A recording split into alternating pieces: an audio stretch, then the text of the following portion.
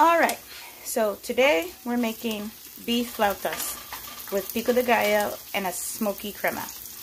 So you're going to start by preheating your oven to 425. You're going to need a frying pan, a baking sheet, some aluminum foil, one small onion, two Roma tomatoes, some cotija cheese, some sour cream, some southwest spice, and some paprika, a little bit of water.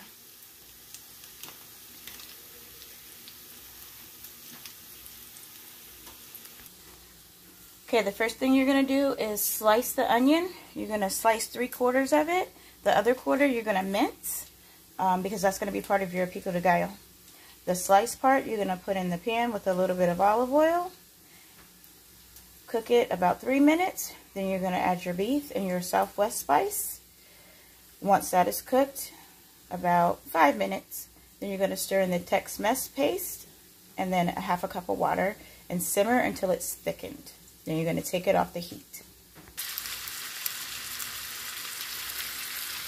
Okay, so as you can see, I got my ground beef added, breaking it all up.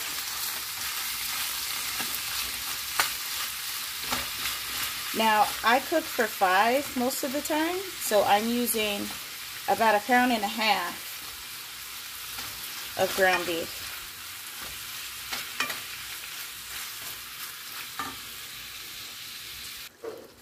Alright, so that's what it looks like when it's just about done.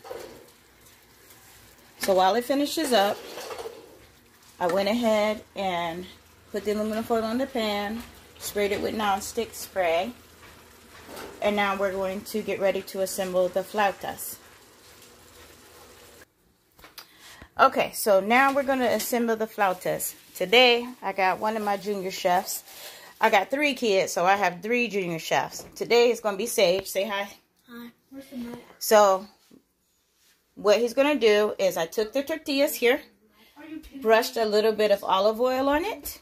So, what we're going to do is put about a quarter of a cup of the meat mixture here on one side.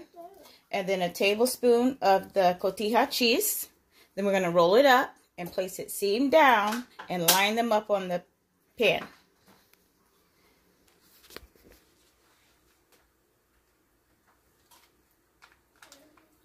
That's good.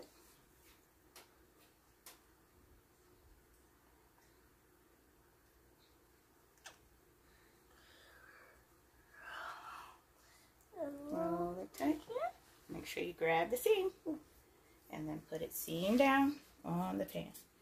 Perfect. You got it. So when those are all done lined up, you're going to put them in the oven for 8 to 12 minutes. In my oven, it's about 11 minutes on 425. And then while they're cooking, you can put together your pico de gallo and your smoky crema. So for the smoky crema, you're going to use about four tablespoons of sour cream, two tablespoons of smoked paprika, and one teaspoon at a time of water until it's the consistency to drizzle it. And then for the pico de gallo, you're going to take your minced onion, your you're going to dice up your Roma tomato. And then what I do is I add a little salt, a little splash of lemon juice, and a pinch of oregano. Stir it together and you have your pico de gallo. Once everything's done, you line up your flautas on the plate, drizzle on the smoky crema, and then right across the top put your pico de gallo and it's ready to serve.